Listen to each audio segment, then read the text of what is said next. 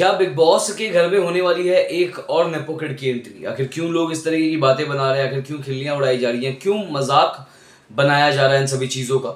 आइए आपको देते हैं इस बारे में पूरी खबर।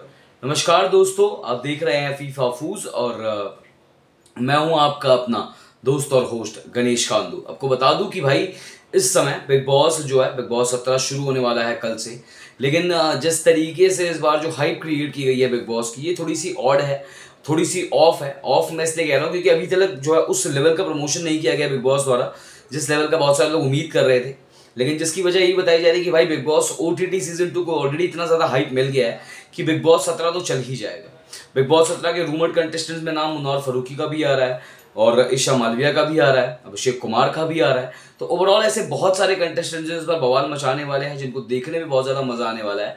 और अभी बहुत सारे कंटेस्टेंट जो लाइंड अप भी हैं। खबर आ रही थी कि कंटेस्टेंट ने बैकआउट भी कर दिया है।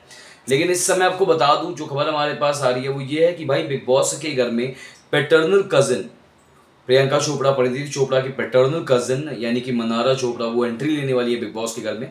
हाल फ़िलहाल एक प्रोमो आउट हुआ है जिसपे लाल दुपट्टा सलमान खान स्टेज पे नाचते हुए दिख रहे हैं, जिनके साथ। वो कोई और नहीं, बल्कि मनारा चोपड़ा है, जिसको लेकर बाद में भाई कमेंट सेक्शन में लोगों ने बहुत ज़्यादा मज़ाक उड़ाया।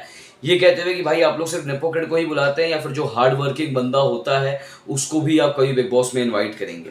फ़िलहाल भाई देखने वाली बात होगी कि क्या ये ट्रोलिंग रुकेगी या फिर और ज़्यादा बढ़ेगी, इस पर आपकी क्या राय है? और बिग बॉस सत्रह में इनको देखने के लिए आप कितना ज़्यादा एक्साइटेड है, हमें ज़रूर बताएगा हमारे कॉमेंट सेक्शन में लिखकर। मिलते हैं आपसे अगले वीडियो में। धन्यवाद दोस्तों।